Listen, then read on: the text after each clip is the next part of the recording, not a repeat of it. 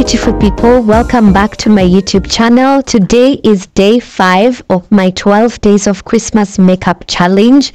We've already started, but if you haven't checked day 1 up to 4 of my 12 days of Christmas makeup challenge, make sure you go check it out.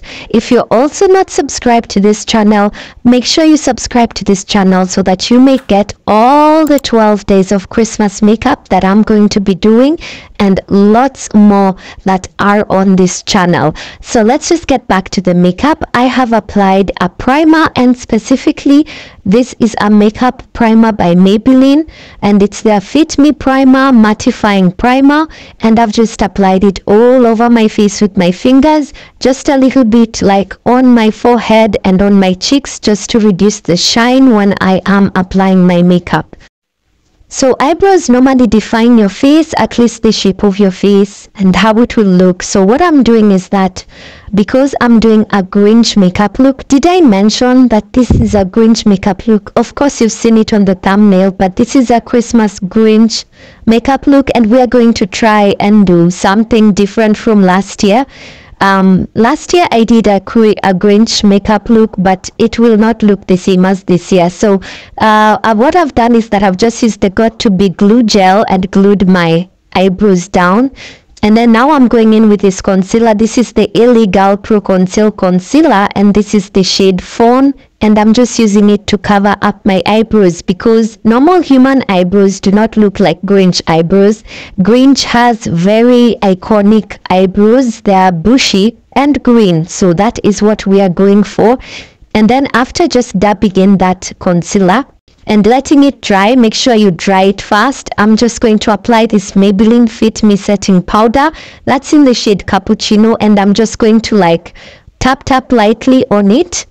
And then uh, we've covered our eyebrows. So now we are going to do Grinch's eyebrows and the Grinch we are going for is not the reformed Grinch.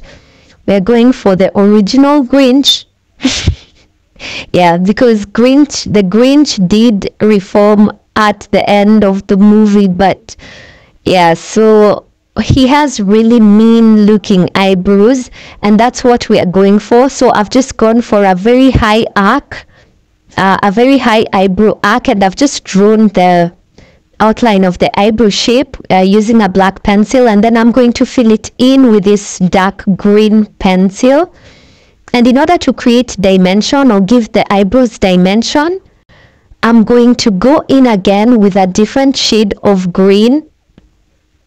And then I will also go in with a third shade of green the lightest shade of green. So this will make the eyebrows a bit you know have some depth to them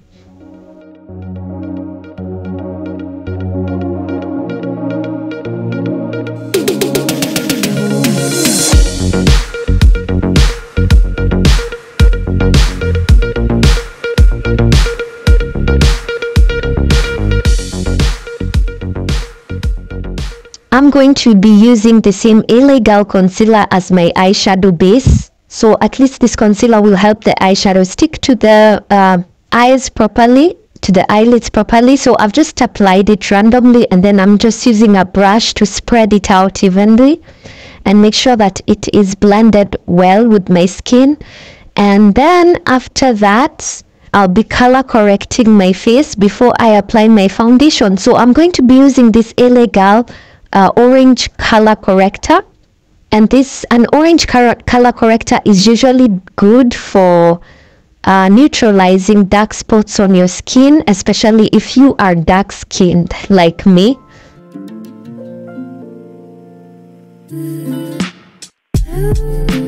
and for foundation, I will be mixing two foundations, which is the Maybelline Superstay Foundation in the shade Coconut, and I will be mixing the Rimmel Kind and Free Foundation in the shade Mocha. And uh, the reason I mix these two foundations, one is the consistency. The Maybelline Fit Me Superstay is very, very thick, while the Rimmel Kind and Free Foundation is sort of like a I can say it's a skin tint so it's very lightweight. So by mixing the two at least I get like a good not very thick foundation but that is full coverage also. And then I've just used the damp beauty blender to spread out that foundation. And then now what you're seeing me doing here is my concealer. And uh, for concealer I'm using the Maybelline Fit Me concealer. That is the shade Cafe 50 and um, I'm just using it applying it directly under my eyes for brightening and also around my mouth just to brighten the area and also on my forehead just to brighten the area and I'm just going to use a brush first. I always use two beauty tools for this step so that it can be thoroughly blended. I use a brush first and then I go in with a damp beauty blender. That way you get like a perfect finish and you don't get creases. And then I will be applying a lighter shade of concealer and that is the Rimmel Kind and Free Concealer. That's the shade Tan that I've used for the second round of concealer and that contour shade is for contouring my nose. So I am just going to dab it in again. Same steps as the first concealer, dab it in with a brush and then with a beauty blender.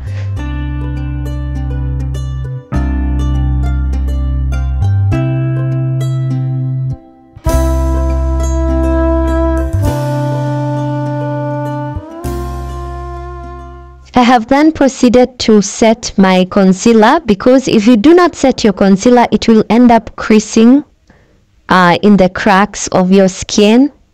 So what you do is that you just take a setting powder. In this case, I'm using the Maybelline Fit Me setting powder in the shade Cappuccino. Take your setting powder and apply it all over the areas that you covered with your concealer. And then for the Grinch eyeshadow, the Grinch is green everywhere. Let's not forget about that. We are going to take a dark green eyeshadow and apply it in the outer corner of our eyelids. And then in the center and all over the eyelids, we will take another shade of green, which is also dark green. And I've just covered the entire eyelid with that dark green. I'd call it a medium green because the other one was darker that I applied on the outer corner. And then in the center I'm applying a and in the inner corner I've applied a light shade of green. So I've just gone with dark green on the outer corner a medium green in the center and then a very light green in the inner corner of the eye.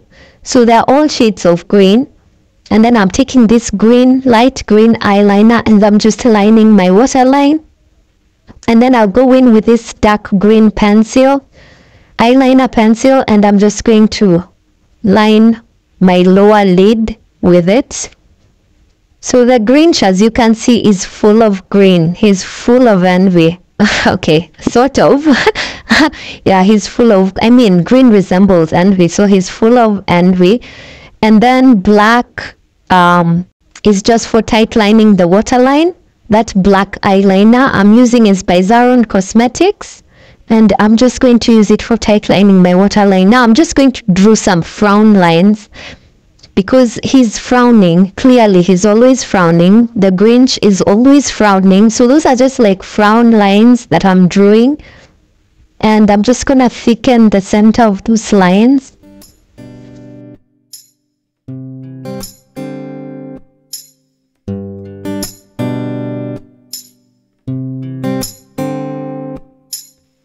Just because we are the Grinch doesn't mean we don't have to look glam. This is makeup. So I'm using this shade Glam blush and that is the shade Love Cake. It's a very light pink shade but I absolutely love it. So yeah, I'm just dabbing it in with that damp beauty blender and then for the highlighter I'm using this Revlon. It's usually so hard to apply that Revlon highlighter stick. And then after that we are going to draw more we're going to go on to the frown lines again and just help create some dimension or depth to them